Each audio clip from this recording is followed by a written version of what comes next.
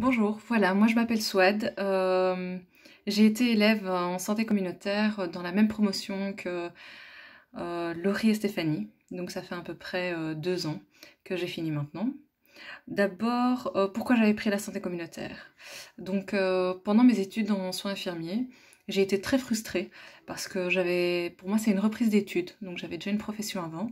Et je suis retournée sur les bancs de l'école pour apprendre ce beau métier avec un peu l'illusion qu'on allait pouvoir euh, aider les gens et avoir euh, une relation avec euh, les patients. Et j'ai très vite été déçue en voyant la machine de guerre qu'était le service hospitalier qui ne correspondait pas du tout à, mes, à mes, sensibilités. Donc au bout de ma troisième année, quand on devait faire nos stages de stage professionnel. Hein. C'est un peu ça. Moi, j'ai fait mes stages. Euh, j'ai été scolarisée en dehors de Bruxelles. Euh, j'ai très vite été vers la psychiatrie. Mais là aussi, euh, il y avait quand même quelque chose qui n'allait pas. Et on a eu la chance d'avoir quelques informations et une séance d'informations faite par Monsieur Hublet. Et là, je me suis dit, bingo, ça me parle. Tous les concepts qu'il présentait correspondaient clairement à, à ce pourquoi j'avais commencé les études d'infirmière. Donc je me suis dit, euh, allons-y, pourquoi pas, euh, santé communautaire. Et là, quand je suis arrivée euh, en santé communautaire, ça a été vraiment pour moi une belle, belle aventure. L'année a été très riche professionnellement parlant. Je me suis vraiment découvert une identité professionnelle que je n'avais pas spécialement à la fin de mon, cursus euh, de soins infirmiers généraux. Euh, je suis retrouvée, euh, j'ai, moi j'ai un peu tâtonné. Hein. J'ai d'abord été dans ce qui était plutôt le soin santé communautaire, mais communautaire en termes de diversité culturelle. Là, j'en ai beaucoup parlé. C'est ça qui est vraiment riche dans, le, dans la prise en charge dans les, par le professeur et par le suivi et l'accompagnement. C'est que vu qu'on on, échange, on est sur du... Euh, sur, vraiment sur de l'échange, sur de la réflexion, sur ce qui a été les points forts, les points faibles. On affine, on affine notre identité professionnelle. Et très vite, euh, à mon deuxième et troisième stage, j'ai voulu travailler avec une euh, population précarisée.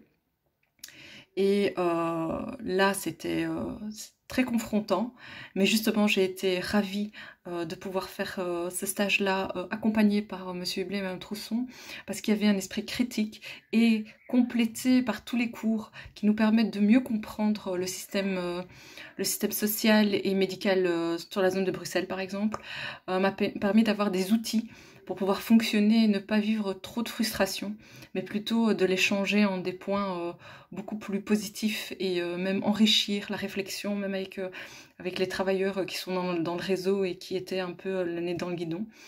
moi, personnellement, à mon troisième stage, j'ai été engagée et j'ai pu combiner année scolaire et ma profession en fait hein, clairement. Euh, euh, j'ai été épaulée même si j'étais déjà un pied comme une professionnelle euh, parce que voilà j'avais j'étais diplômée j'étais infirmière.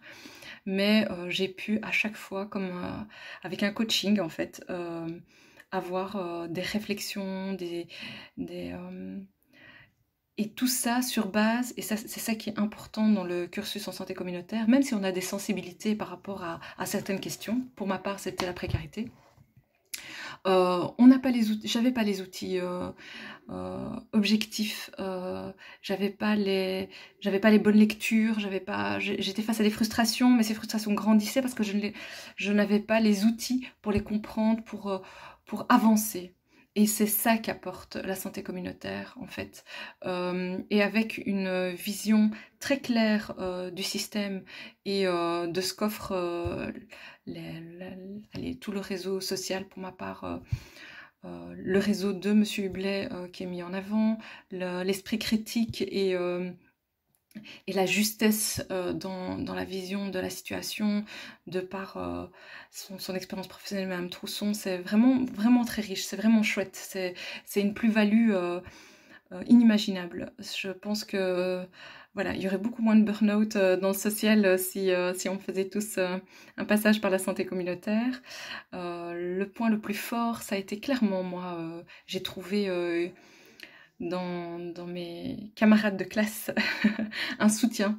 Euh, on avait, et c'est ce qu'on fait encore d'ailleurs, on avait un esprit critique, un esprit clinique, euh, sans, euh, sans jugement aucun. On essaye d'avancer, de, de, voir la situation en passant par plusieurs focus professionnels. Moi, pour ma part, la, transdisciplinarité, c'était aussi quelque chose d'important. Pouvoir travailler, vu que j'avais une vie professionnelle avant, pouvoir travailler avec d'autres professionnels qui n'avaient pas spécialement cette casquette euh, médicale, euh, c'était très riche, je pense, et je, j'en suis sûre. Et, euh, et j'en ai, j'ai pu en débattre avec, avec mes professeurs, avec mes camarades, et c'était vraiment très, très, très chouette. J'en, sors à chaque fois grandi, et encore maintenant, il n'y a rien à faire, ça, ça, nous a, ça nous a marqué et moi personnellement très fort dans mes interactions avec d'autres professionnels. Et euh, voilà. Mon cursus professionnel est un peu particulier, c'est que moi j'ai été engagée donc euh, dans mon dernier lieu de stage de troisième année.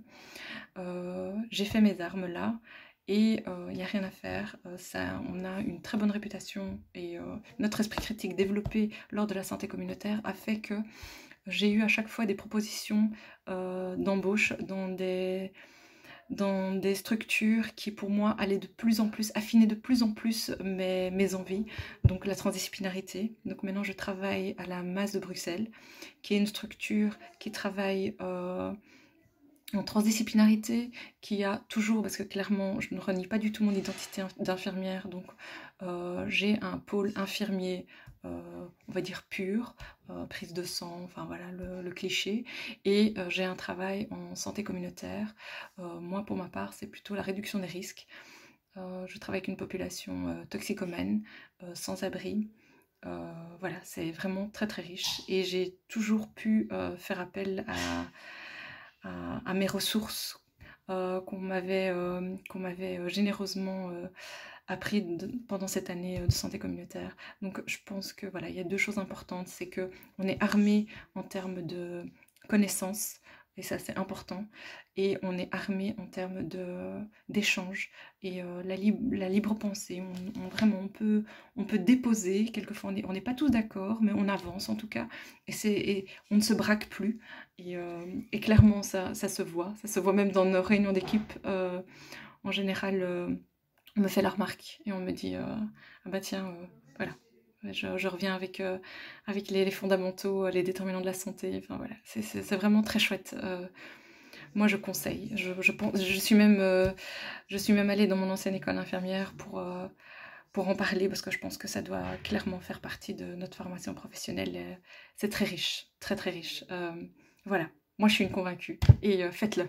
Vous, vous n'en sortirez que, que grandi, ça c'est clair bonne journée. N'hésitez pas, comme les autres, si vous voulez euh, me contacter pour avoir des infos, euh, pour, euh, voilà, pour avoir plus d'éclaircissements sur certaines structures dans lesquelles j'ai travaillé. Voilà.